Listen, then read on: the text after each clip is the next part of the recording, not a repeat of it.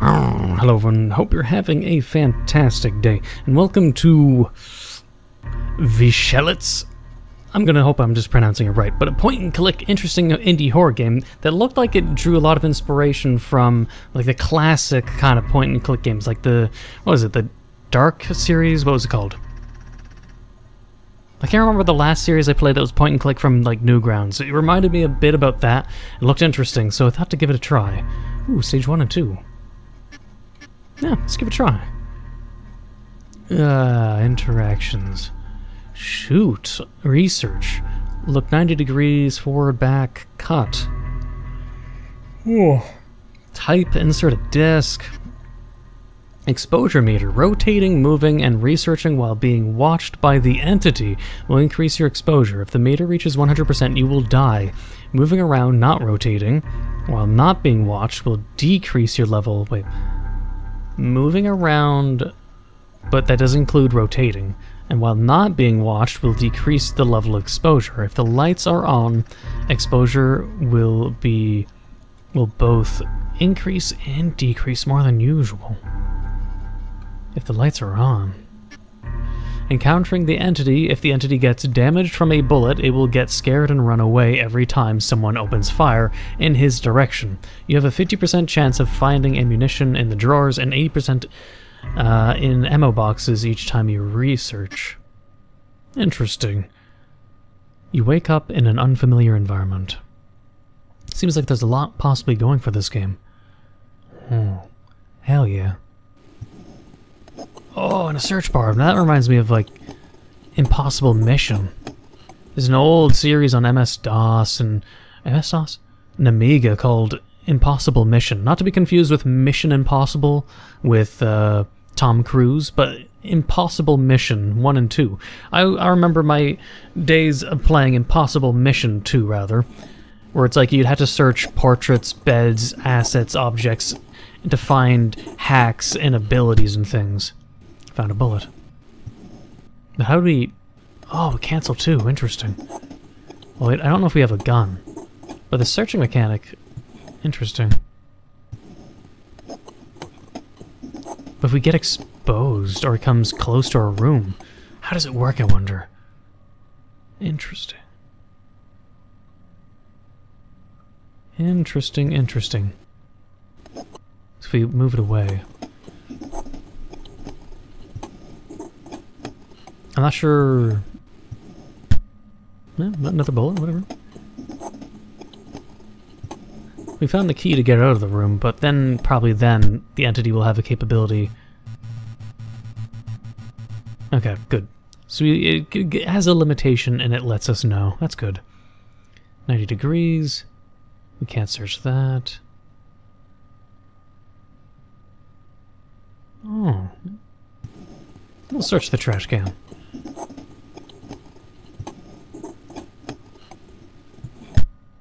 Note. Weak spot is in the body. Interesting. Good to know, good to know. We can search the trash can again. Oh. So maybe it's like it doesn't depend on where we click on the wardrobe, it's just we can search it, yeah, the X amount of times. The trash can we can search three times, with a chance of getting bullets, or nothing. We got a note which is maybe mandatory, but hmm. no, okay. Oh. How many times can we search then? There's a chance to find something, but we just failed, I guess. Or maybe we can't.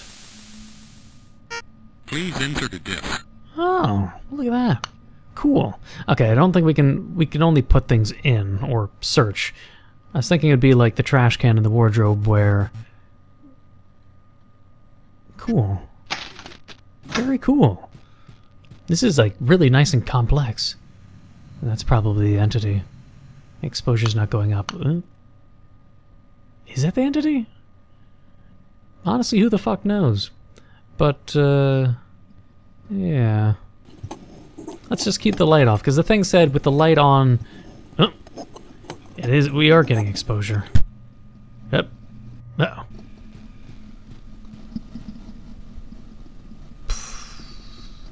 oh Can we close the door? No, didn't want to do that. No! No!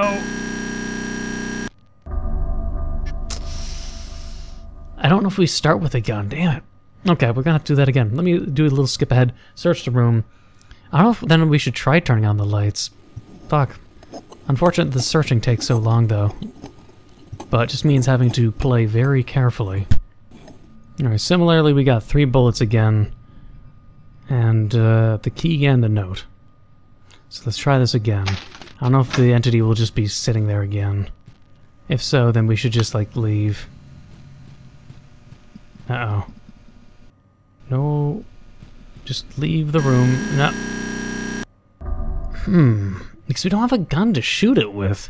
I'm gonna just get the key and like leave the room and test things. I I'm already sure they said that being in the light is bad. Like you don't want to be in the light because then you're just more visible to it.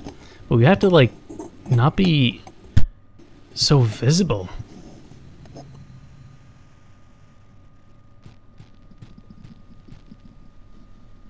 Alright, so we ran away from the thing. I don't know if it's going to just leave from staring at me at the goddamn window, but we can't, like, move back and forth.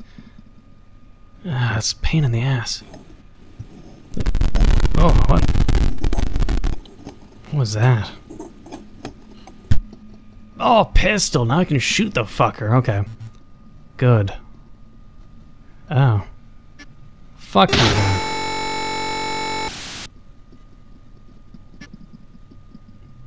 So that's how you then start this game.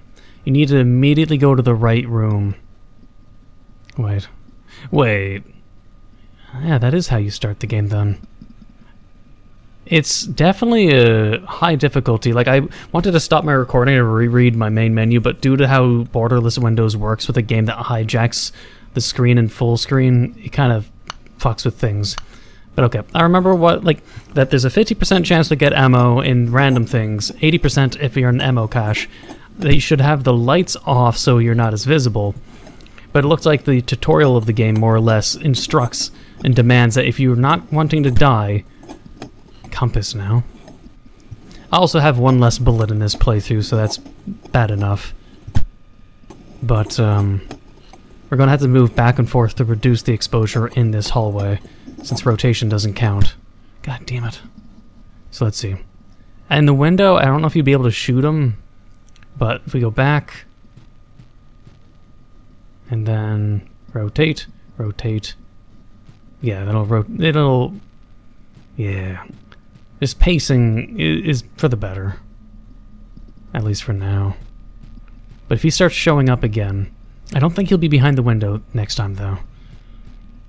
He did run off, it looks like. His blood trail, yeah. We have another bullet to shoot him with, but he's going to be hiding from us for however long it takes. So interesting enough. The ambience and everything in this game is really nice, top-notch. Like modern shit that I'd expect and want. We're not going in that room because that's clearly where he's at.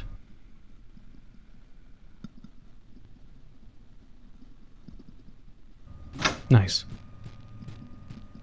And if he is in a room with us, uh, you know what? Can we... We can't close the door behind us. I hope he can't just enter the room, but if he does, that means we have to turn around until we find his location and then shoot him. But we desperately need more, need more bullets. And it's definitely not this... I was to say they're clumps of Kleenexes, but... A silver key. The other door was blocked, so I don't think that's a key for that door we were trying to investigate. Come on, more bullets, please. There's 50% chance, but my RNG in this run has been completely pathetic.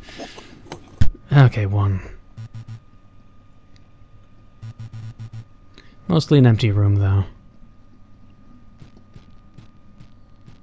I'll try the door just in case. That's not a good sound. Yeah, fuck you. Get out of here. No exposure. Oh, it was for that room. Just demo. Yeah, give me the ammo. It looks like I can shoot him through the window. That's pretty funny. Oh, I can search an infinite amount of times. Wait, what? Isn't that just hacking? Wait, found nothing. It's an 80% chance every single time. So why wouldn't I just keep doing this? Why infinite? Isn't that just cheating?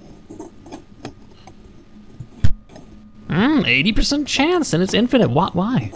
Is that like just maybe developer mode and they forgot to turn it off? No.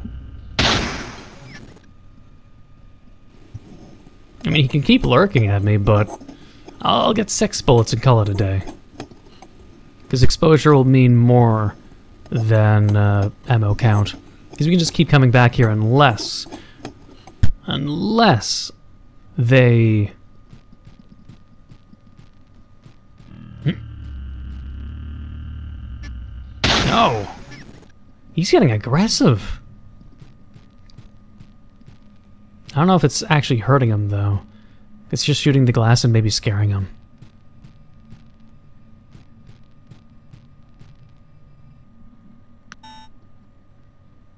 Huh. Should have a DVD in here, then. But I'm very intrigued in this. Like, this is a, a more robust point-and-click game than I would have expected. I highly doubt there'll be two DVDs in here. But... No. Interesting.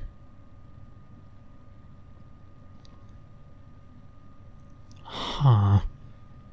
Interesting indeed. I think we'll need power.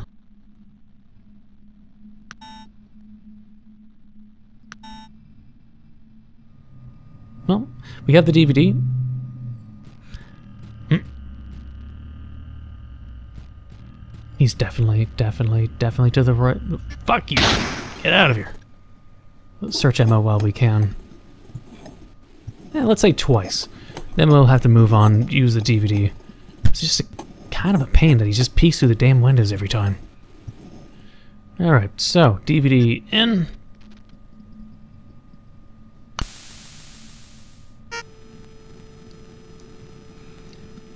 One north, two south. Okay, we're writing that down, I guess. I'm going to presume it's not talking about pressing the button once, pressing the button twice, but it's like first, second, third, fourth, rather. Okay. I'll take the DVD back out for collection purposes. May as well. Why not? Ah, I see. Alright, so it was... First is north, so boop. And then... South. Then east. And then west. Alright, good. Now they should open the gate. Left, left, left, left. Spooky. We have four bullets, so we should be fine. A ladder.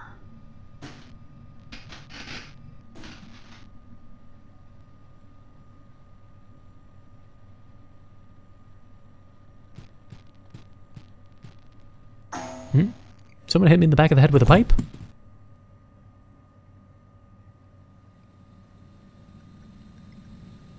No! They're stealing my items! Presumably, there's a strange odor in the air. Click here to look up. What? Hello, player.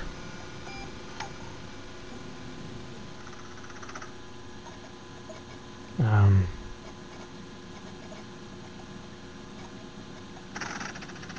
Oh.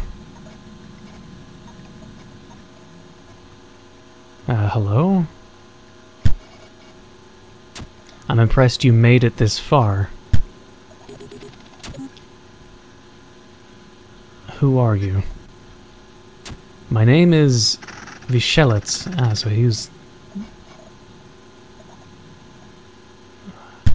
found a list.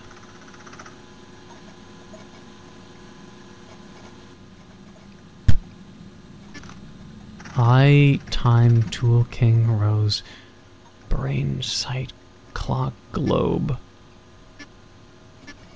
Uh, what? You can't move, there's a rope around your neck. I'm the one who repurposed this place and gave it a meaning.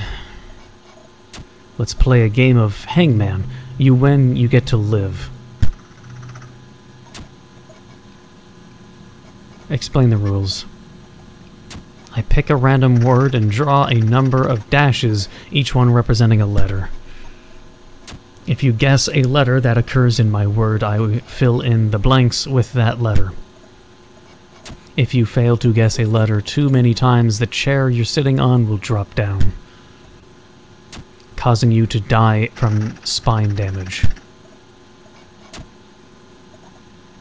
Ah, I'm sure saying let me out of here is not going to do anything, so let's get started.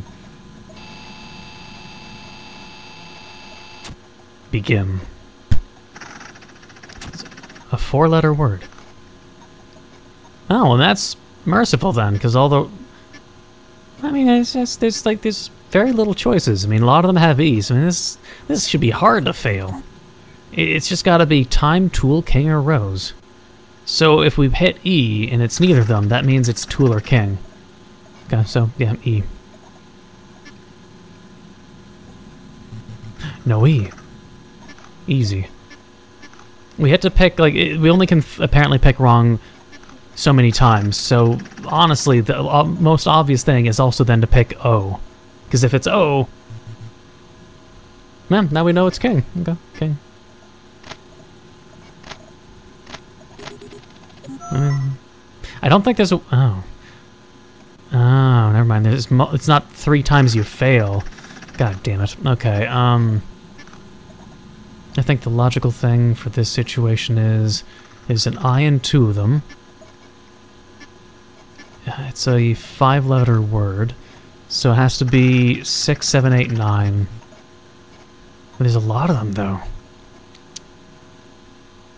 I guess we'll do E first. Oh, and E is the fourth letter. Has to be paper.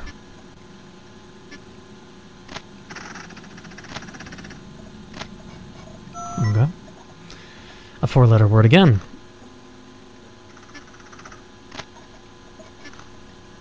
Rose. Can you even lose this game? This is easy. Are you, are you perplexed? Are you unhappy? Coming out of the TV, even. Uh, initiate execution! Escape. No one escapes. Uh, I found a knife. Ah! No canceling!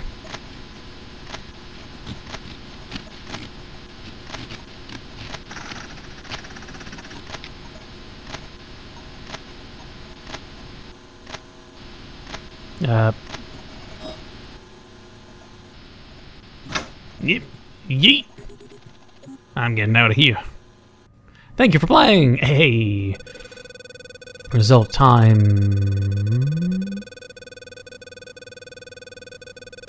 Movements. Shots fired. Guessing accuracy 0.8. Alright, but no, that was then... Oh, wait, wait. I'm going to assume that was the whole game then, not like that there's a sequel that is stage 2, but that was part 2 of the game. No, but uh, it was a short game, but definitely really nice and thorough. Um, definitely really good quality. Like, it's it's been a while that I haven't played a point and click that isn't, how would I say, boring. Like, a lot of times point and click games to me feels like a nostalgia porn, where it's like there's nothing innovative there's nothing cool in terms of modern mechanics or things that enhance the game. It's just sort of like a click everything, uh, click everything to collect everything, even if thing like things that don't seem to stand out. You know, things that you'd expect from the MS DOS period. And a lot of it is just not really innovative. But in this game, there's a lot of cool things going on. Like a lot of stuff that just made it a really interesting game uh, both the exposure. I mean, the bullets just the, the bullets infinite ammo became a little bit silly, but at the same time, as soon as you figured out um, how to stop it, it stopped being a threat. My only hope would be a game like this to be expanded upon, but where it is akin to survival horror, where you don't have the means of killing it and you have to escape from it and use a larger map, like let's say like a Resident Evil kind of mansion, and you have to escape from it stalking you like Nemesis kind of thing, and it will constantly hound you to try to kill you and peek through windows, peek from ceiling like holes, peek from the floor, and try to get more and more exposure on you as time moves on. But since we were limited to a very tiny hallway with the limited movement, it just felt like it was a really short game, but in terms of like the mechanics made in this game, if it was just simply used in a larger game or larger sized game, like a sequel to this, then that would be really damn cool. I could see a, a game like being a lot more like larger in size, like this being a really cool project. Um, but for being like the short project that it was, and it being packed with like the search mechanics, all that stuff is already like created.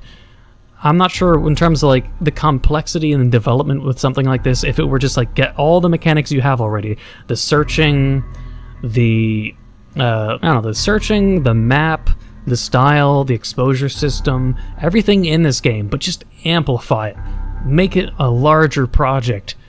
Um, that'd be just so cool. But I don't know. Let me know your thoughts if you agree or disagree. It'll be a pain in the ass editing this because the only thing I would suggest is that I'm not sure if it's possible to explain it, but it's just like it's the game is in a very tiny resolution, and if I make it full screen, how at least my webcam software works is if I minimize a game that hijacks full screen, it will turn on and off my webcam uh, with my specific software, which is YouCam 9, and it basically turns it on and off and it makes it so anything I was recording gets corrupted or it stops recording while the software itself isn't technically stopped. It, it's like I can see cut like a a countdown, for instance, and it will flicker on and off, but the countdown will keep going, but nothing's going to be recording. So if I don't notice the webcam turned on and off in these situations, and I keep talking to the microphone like I am, it's not actually recording it. And I can lose a lot of footage that way if I don't notice the webcam flickers on and off. So it's like if the game is naturally when you do choose between full screen, if just for future reference, make it borderless full screen because toggle full screen in these kind of games, this this kind of app, it just hijacks the screen and it fucks with my recording. I don't know, F like borderless full screen is just the most beautiful thing. But I use borderless. What is it? I use an app called uh, Borderless Gaming to try to fix that.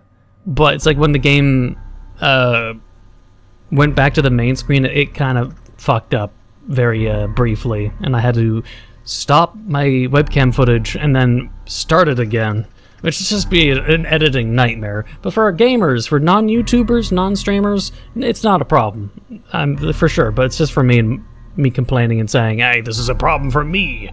And borderless full screen is just the most beautiful thing you can do. But either way, that's just a, a, little mini rant so people can understand, hey, the pains of recording certain software that likes to hijack the full screen and for whatever reason fuck with my webcam. It's it's very unfortunate. But game-wise, no, I loved it. It's fun, it's great. It didn't make me get bored, which is usually a problem with point and click games. The monster was cool. There's always the looming threat of them existing, except for, you know, window moments. And as soon as I got the gun and the bullets, it became, you know, the I became basically a one-man army at that rate. So if the game was expanded upon, but made it so you were not weaponized and it was focused where like half the game maybe you're trying to look for a weapon and you're running away from this thing constantly that'd be a really cool experience to me. But anyway hey if you agree again or disagree let me know in the comments below what you thought about the game. If you liked please leave a like. If you enjoyed please leave a like. Hit that comment. Wait god damn i'm getting messed up now. My my, my flow's gone if you enjoyed, please leave a like, comment, hit the subscribe button, become a subscriber, hit the notification down below for updates on my videos. Thank you for watching, and until the next time. Um.